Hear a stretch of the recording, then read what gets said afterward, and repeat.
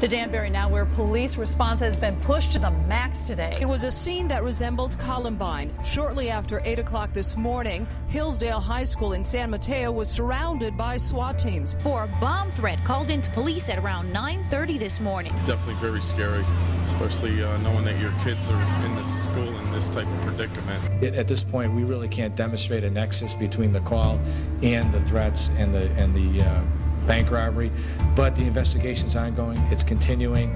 We've got our best people on it, and we feel confident that we'll be able to eventually make an arrest.